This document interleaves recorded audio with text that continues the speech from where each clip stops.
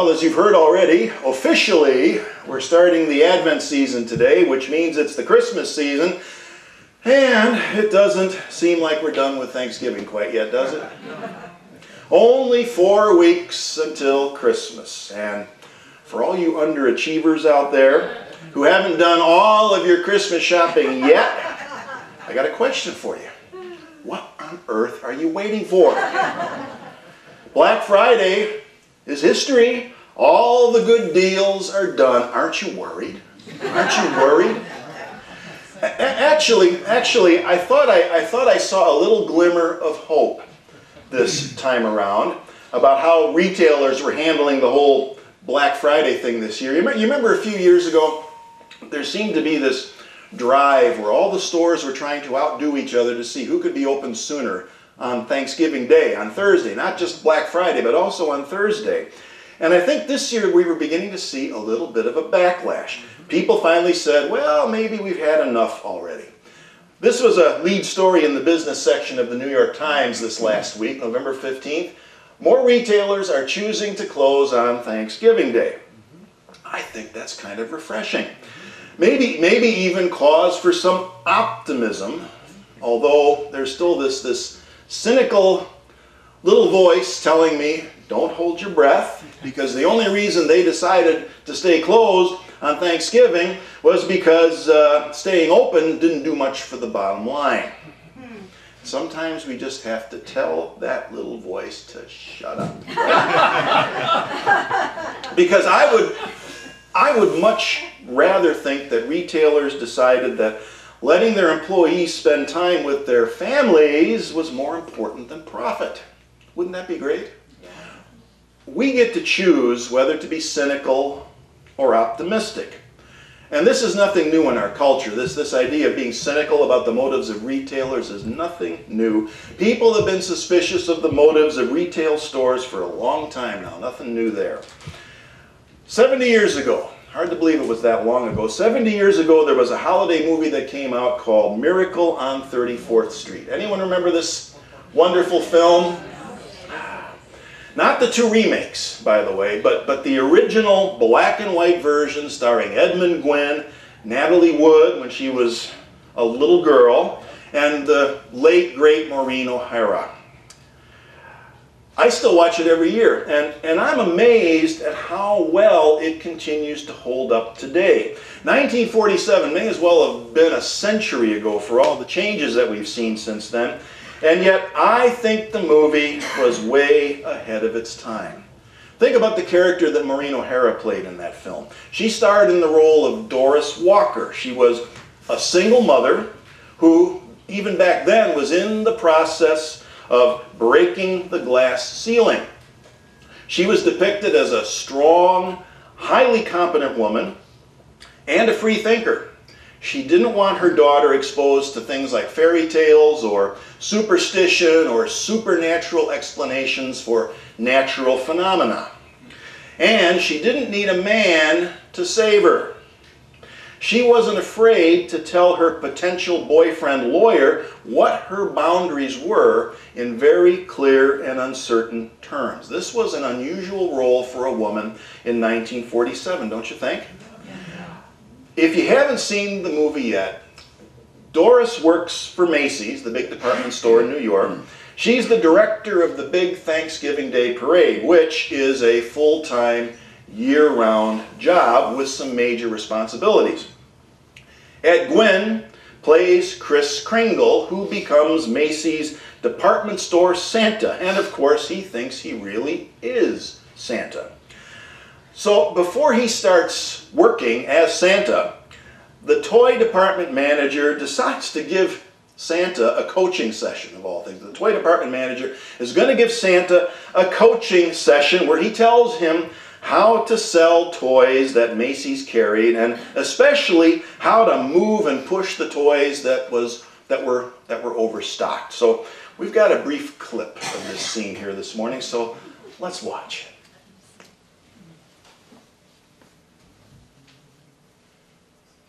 Before you go up on the floor, I just want to give you a few tips on how to be a good Santa Claus. Go right ahead. Uh, here's a list of toys that we have to push, you know, Things that we're overstocked on. Now, you'll find that a great many children will be undecided as to what they want for Christmas. When that happens, you immediately suggest one of these items. You understand? I certainly do. Now, you memorize that list, and I'll... Oh, never mind. I'll tell you, when you've finished, come up to the seventh floor. I'll be waiting for you. Imagine making a child take something he doesn't want just because he bought too many of the wrong toys. That's what I've been fighting against for years. The way they commercialize Christmas. Yeah, there's a lot of bad isms floating around this world, but one of the worst is commercialism. Make a buck, make a buck. Even in Brooklyn, it's the same. Don't care what Christmas stands for. Just make a buck, make a buck. Oh, don't bother. I'll put it away for you. Huh? Oh, thank you, Evan. What should I do with these? Throw them on the floor. I get kind of tired just sweeping up dust. Thanks. Yeah, thank you.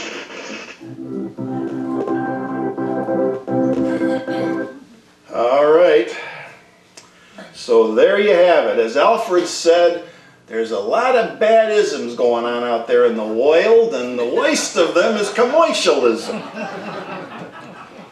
So Santa has his marching orders, which are sell, sell, sell, even if it's not what the customer wants. And as you can see, he's not very happy about that, is he? Right? So one day, a child comes to visit Santa Claus, and he wants something for Christmas that Macy's doesn't carry.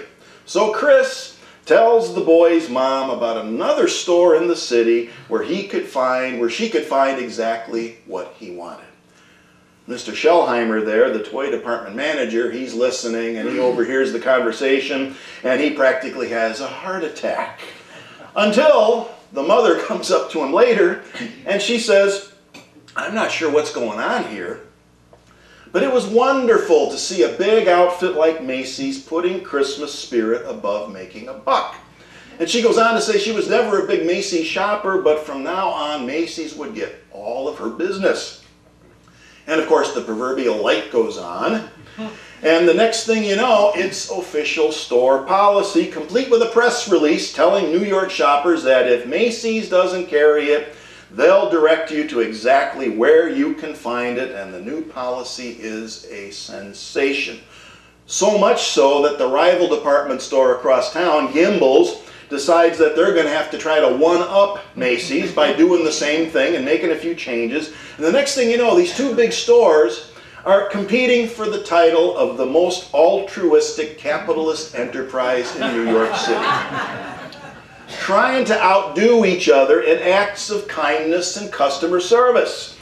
And of course, Doris and Kris get a big bonus from Mr. Macy, and everyone lived happily ever after. Now, there's a lot more to the story than that, but I'm not going to ruin that for you. You need to see this movie again. But, but wouldn't it be great if there was more cooperation instead of cutthroat competition?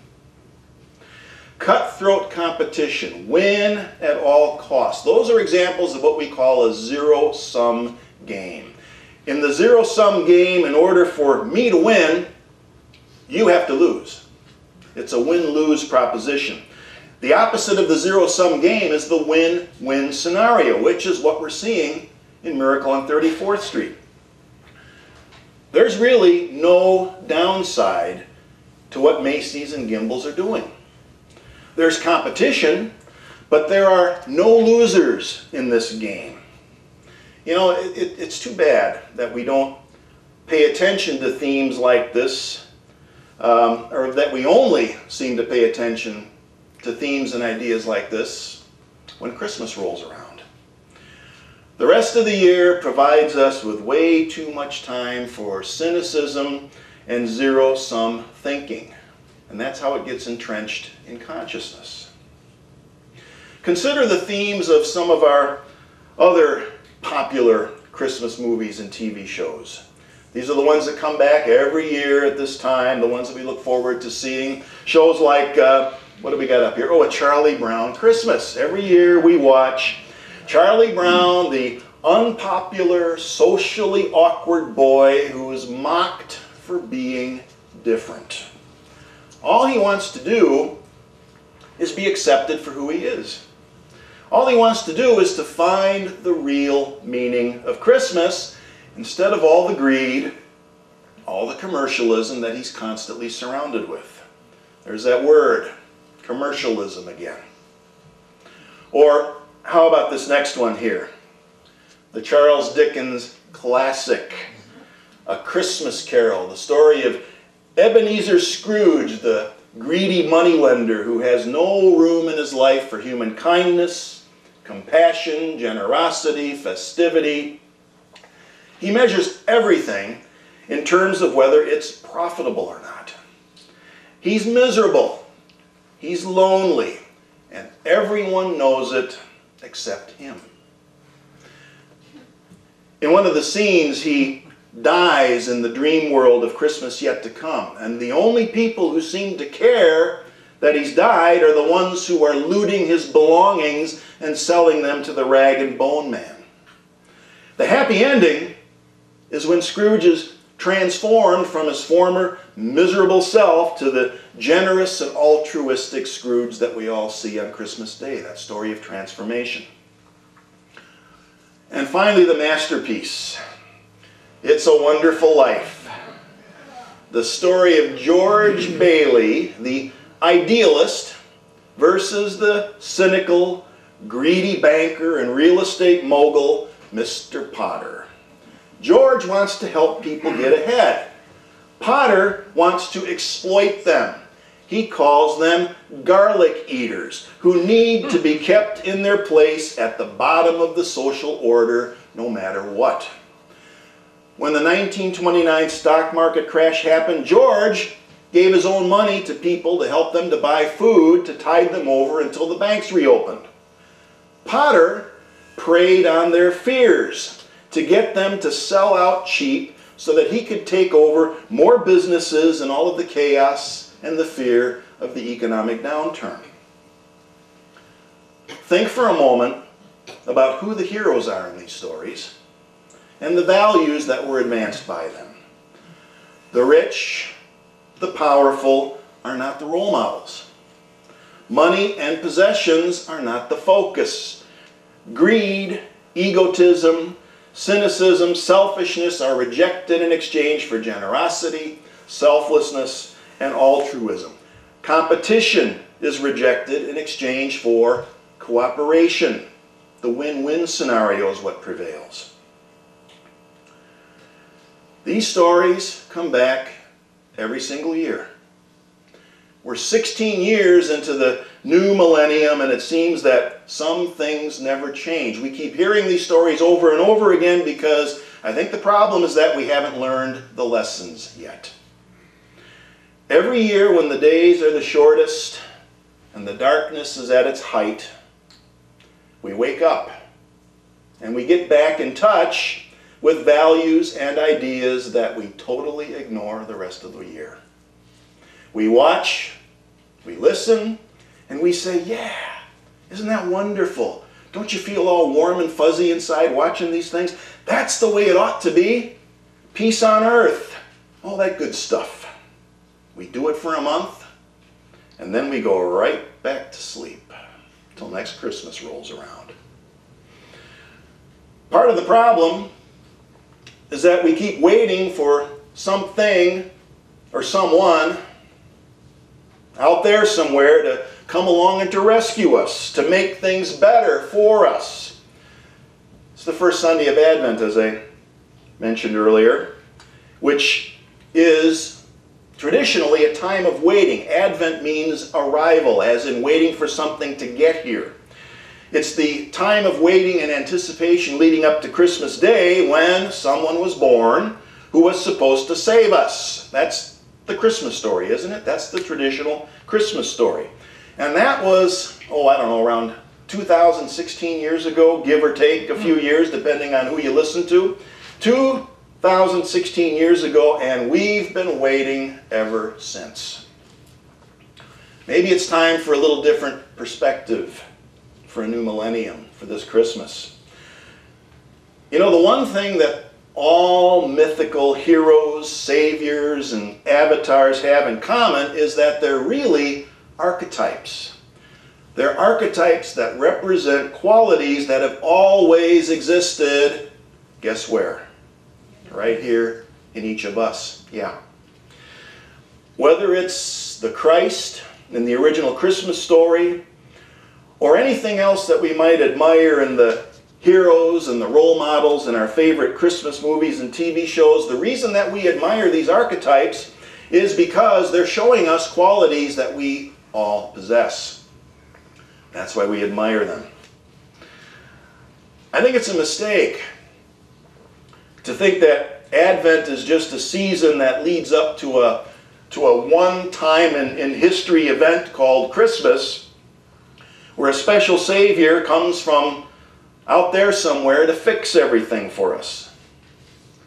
Think of some of the songs that we sing at Christmas, especially the, the song Silent Night. We think about the words to that song, and it sounds like we're talking about something that only happened back then, way in the distant past. That silent night, that holy night, that one time event. When the fact is, any night can be a silent and holy night. Because holiness is really in the eye of the beholder, right? Holiness is an attitude. It's an attitude of respect and gratitude for life and the universe and everything in it. Why would we want to reserve that just for one time a year? And then there's the imagery of mother and child, which is also timeless. All children are born with something to offer, a role to play that's not predetermined, but it's for them to discern, along with us, along with our support, to discern that, to celebrate it, to allow it to unfold. What, what particular archetype does this child or that child bring into the world? Not just a one time thing. Being born human doesn't mean we're insignificant creatures in need of salvation. We don't have to be prone to not learning these lessons time and time again. We can get it because it's, it's, it's in our humanity that we find things like compassion, altruism, reason, creativity, and I could go on and on, but you get the list. It's a long one. Those are the things that can and will be our salvation without the need for supernatural intervention. It's already here. So I think the message of Christmas for this new millennium is keep watching, keep reading the stories, and then internalize them and realize that what they're talking about is already here. So maybe, just maybe, one of these years we won't go back to sleep for the rest of the year. See you next week.